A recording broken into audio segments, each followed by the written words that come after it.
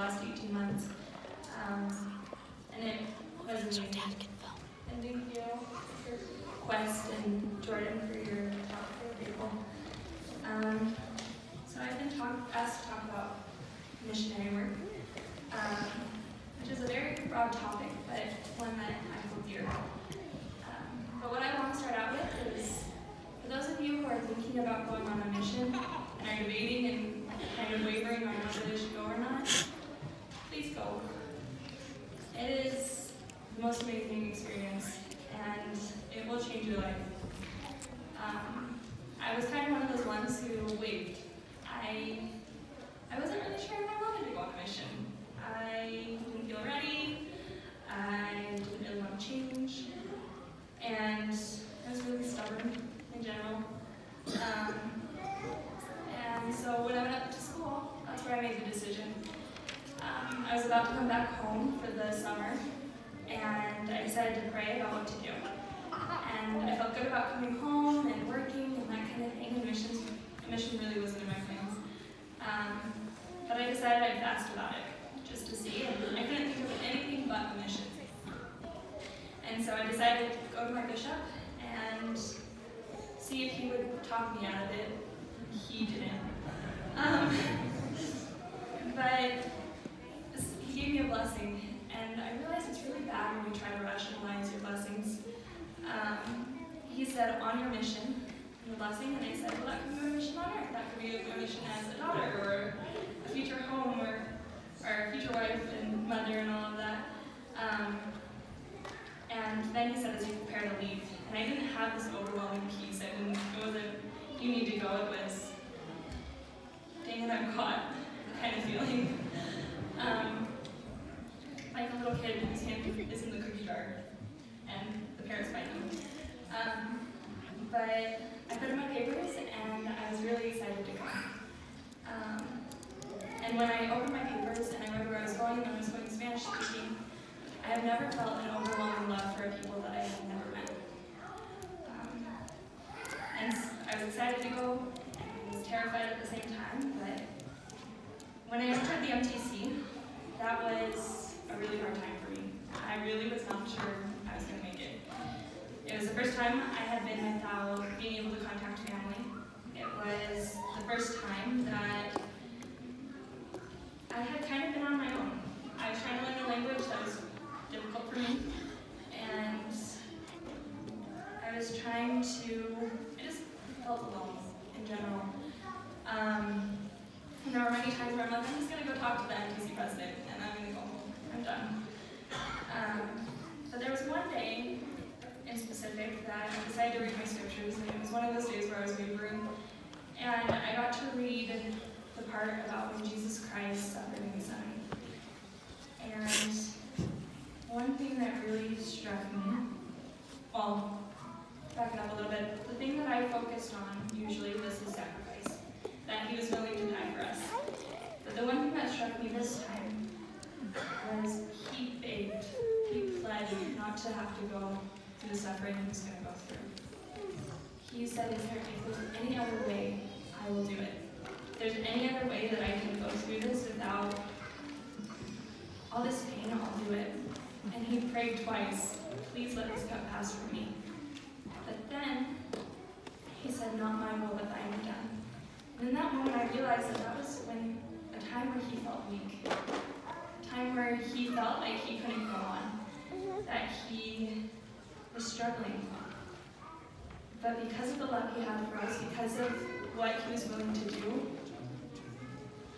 he did it anyways. And I figured if he could do that, if he loved me that much, I could serve him because I loved him. Um, and the mission, I'm not going to say that was easy, because the mission is never easy. For those of you who have served, I'm sure you would agree with me. Um, but it, is definitely worth it. There are a lot of hard things, but I can tell you that there's nothing greater than being able to see the light turn on in somebody's eyes. There's nothing better than to see someone that you've come to love and come to teach come out of the waters of baptism, and their face just glows, and it's amazing. And there's nothing better than to be able to tell someone who feels lost and the love that they have a Heavenly Father that loves them and is aware of them. And those have brought a lot of joy to my life. Along with the fact that every day I got to testify that Jesus Christ lives and that I am his representative. But just like Sister White has said, um, you don't have to wear that patch to be a representative of Jesus Christ. You don't have to know everything about the gospel to represent him and to testify to him. And that's one thing I did learn on my mission, is that missionaries, they have an impact. That the members are the ones that make the difference. Missionaries come and go. They leave an area and they trust that the people that they leave will be okay. But the members are the ones who are going to love them. They're going to try to help them. I think it was President Hinckley that said, a recent convert needs a friend, a calling, and an environment where they can grow their testimony. And that's exactly what this is. It's a family where these people can learn and they can grow. And I really couldn't have done my work without members like you. There was one guy that we were teaching. His name was Josh, and he was introduced to us by a member. Um, and this this young man, this guy, was not. He didn't know who Jesus Christ was. We tried to bring him up, and we're like, "Do you remember the story in the Book of Mormon, or not in the Book of Mormon, in the Bible?" And he's like, "No, I really don't."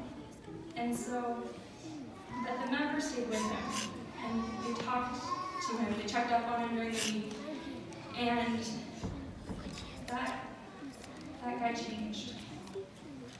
The light entered his eyes, and he was able to testify that he knew that Jesus Christ lived.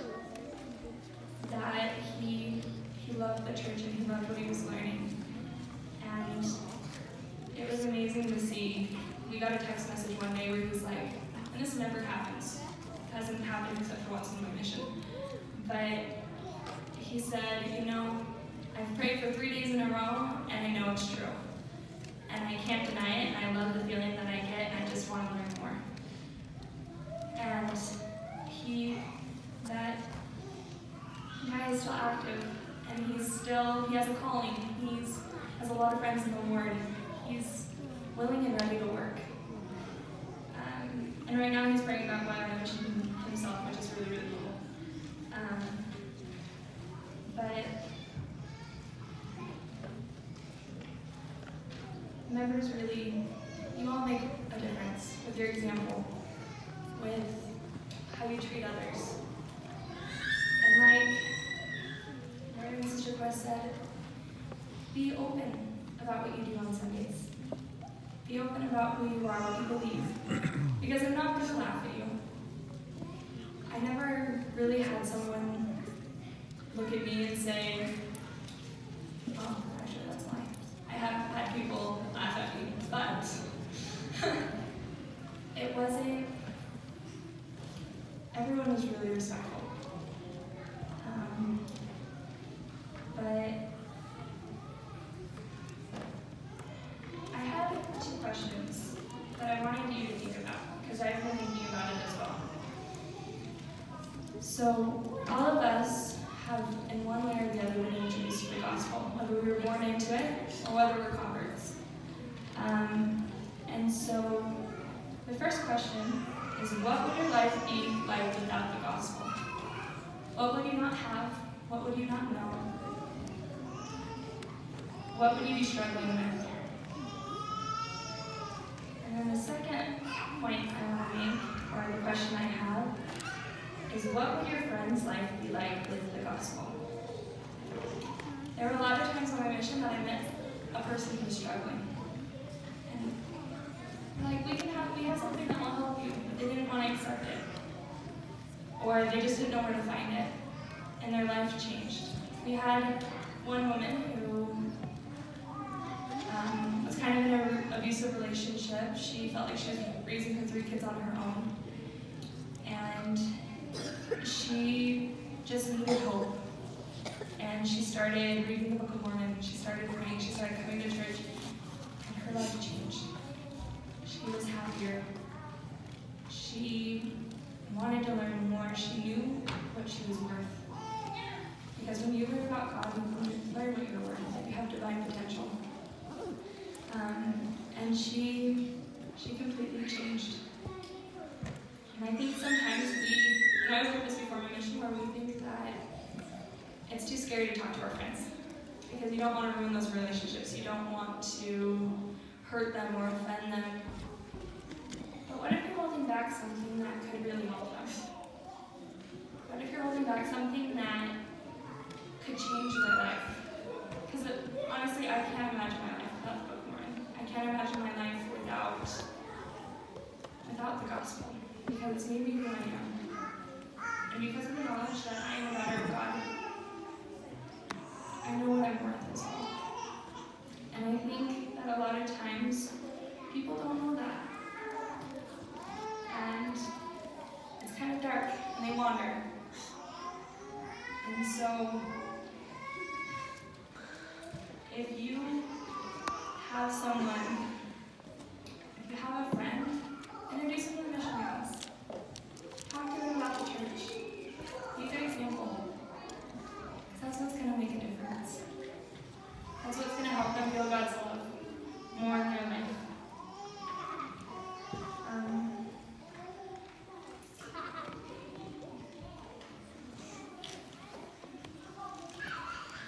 there was we did learn a lot. And one thing I learned about was you learn a lot about humility as a missionary. I had one companion, um, and we were in San Jose, and we had done a ton of work, and we, some days you would knock a ton of doors and no one would be home, or some days you just have people brush you off or people drop you. Um, and there was one day we had a pretty good day. Um, and we're like, it was such a good day, we did such a good job. And she turned and looked at me and she's like, you know, that was all God. We just did the walking and eventually got apricots, but that's about it. and it taught me a lot about how to be humble, to remember that God really is in the details of our lives. And he really did make a difference. One thing that I did love was that if you look for the tender mercies in your lives, and I promise you that if you do it now, you write down the things that you're grateful for and the times that you saw his hand in your life, you'll see a difference. You'll see his hand more in your life. Um, and again, if you are considering to go, please go. Um, part of me wishes that I went sooner, but I'm glad for the experience that I had. And I know, I know that this work is true. I know that now is the time to gather Israel. Now is the time to help others, to show your example. And I don't know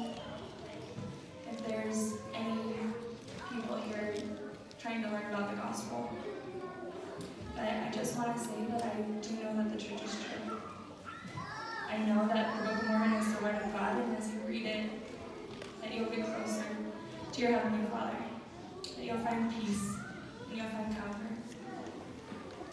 For those of you who are reading, please read. It does bring peace to your life. And I'm grateful for the opportunity that I've had to serve the Lord. And I'm excited to continue serving the Lord. Because it doesn't end. Um, I do want to share my testimony.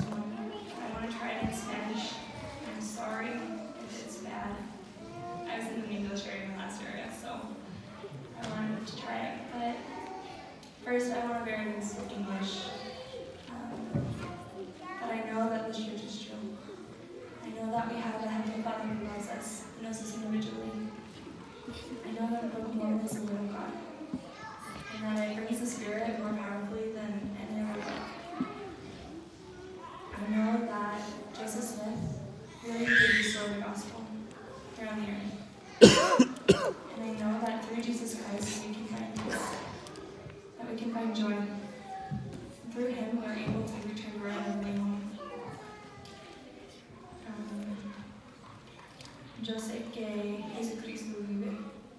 Yo sé que Dios es nuestro Padre Celestial y quiere ayudarnos en cada, cada parte de nuestra vida.